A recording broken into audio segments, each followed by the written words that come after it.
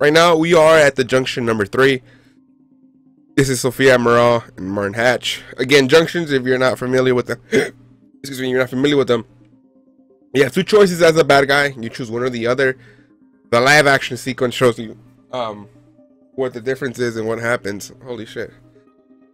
Something that hit me. Sorry. Uh, the, the live action sequence like shows you what happens in one or the other, and also kind of pertains the story and kind of moves it along as to what happens. So, um, let's go ahead and continue that shit. Let's go. If by any chance like any of my volume or anything like that is messed up on anything, let me know, um, so I can go ahead and fix it. I think the only thing I might have to fix or improve on is the in-game audio, but I should be I should be fine on that for for for now. this thing growing inside me. I've been fighting it for six hard years.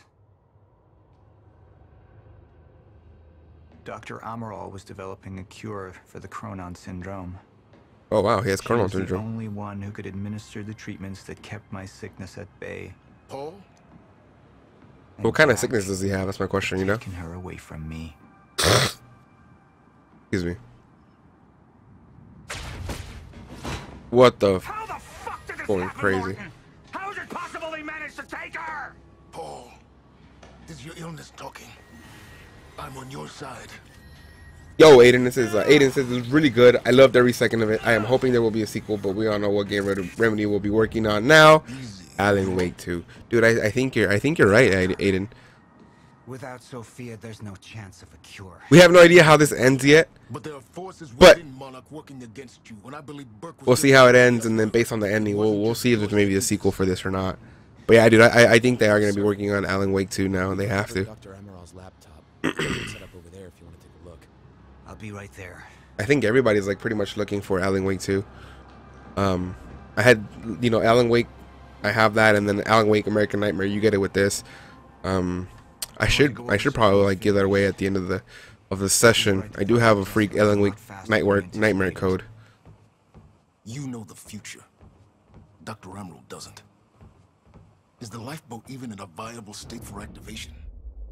She's trying to convince you the schedule's wrong. Why? Is there anything here that I'm supposed to be looking for? To make a As mistake? I've never hold on. I've never actually tried looking at anything like this. She could be one of them. She isn't. Are you willing to bet the entire plan on that? Huh? I implore you, hold off on activation, Paul. Let me clean house before this gets completely out of hand. How do you want to proceed? Somebody was working against me. We got to see who we're gonna trust. We're either gonna trust Sofia or we're gonna trust Hatch. Again, these this this is the work the works of the bad guy. This is a choice of the bad guy. We're trying to figure out exactly which way and what direction we're gonna go in. Um, let's go ahead and show uh Amaral. Let's see who that is and let's see like what's happening. Information about Martin Hatch. Martin had been my close advisor for years. I began to wonder if that had been a mistake. Sofia's loyal. She's always been loyal. I don't think we can trust her. The way she looked at the countermeasure like she's seen it before. She knows what it does. Sofia's research had saved my life. Loyalty doesn't run any deeper. Whoa, fucking crazy. But that's true. The loyalty does not run any deeper than saving your life. Um, Aiden Pierce says, I have American Nightmare on my Xbox One, but I made a channel trailer and uploaded the final moments of this game if you want to check it out. Dude, that's awesome, dude. Yeah, yeah. Um, I'll probably check it out later. Let's go. I'm, I'm going to be putting this up as well on YouTube. And those who are watching on YouTube now, you know, as always, click like, subscribe, hit those comment section. Yo, let me know what you guys think. Evidence was mounting against Sofia. I couldn't simply ignore it, despite everything we had been through. And she knew you'd never make it without those treatments. And then she took them away. If she'd turned against me with what she knew, the damage could be immeasurable. I this is kind of like a hard choice, but um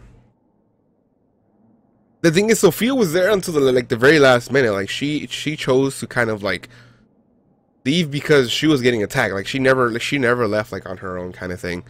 Um, so let's go ahead and I, think I'm gonna choose to trust Hatch. Like, okay, again, from the, from the from the mentality of of, his, of the of the bad guy, she didn't leave her. she didn't stop until, from what we saw, the drone attacked her. So we don't know who who's attacking her with that drone. It could have been Hatch. It could have been something else. So we're gonna go ahead and, and trust Amaral, and then we're gonna we're gonna pretty much suspect Hatch as a traitor. Uh, let's go ahead and confirm this. been good. I'll trust her judgment. We need to analyze these figures and make final preparations to activate the lifeboat protocol at once. All decided to have faith in Dr. Sofia Amaral. I'll take Treatment. the laptop to the science department. No, I think I'll do that myself. Yo, what's up with time being all broken right now?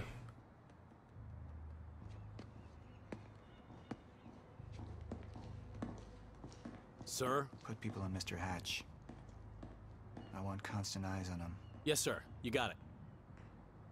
We pulled some images from the security cameras. We've identified Joyce's accomplice. She's Beth Wilder, one of our mid-level operatives. Yeah, that would that wouldn't take long, especially now. My god, she's been with us all along. She's working with Jack. Where is she now? Unknown. But we've got a kill team tracking her. No, no, no, no. She can't be killed. Not yet. Find her. See, he's like he's not like a Whatever Mr. Hatch sadistic bad guy, you know. I want to know about it. Don't screw this up. He's like he's a methodical. He's he's trustful. Most of all, I mean, he doesn't want to kill Jack Joyce either. He's his friend, you know. It was the first time I'd heard her name, but she had been there in the past. When it all started, What the hell?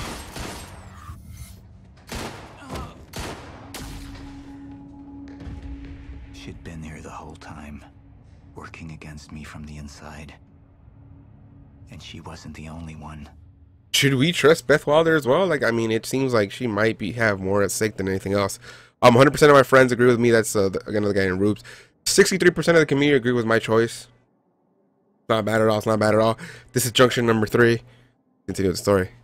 Hey guys, that was junction number three. Those are my choices. What are yours? Let me know in the comments below. As always, hit that like button if you liked the video. And don't forget to subscribe so you can check out the rest of the content. Have a good one.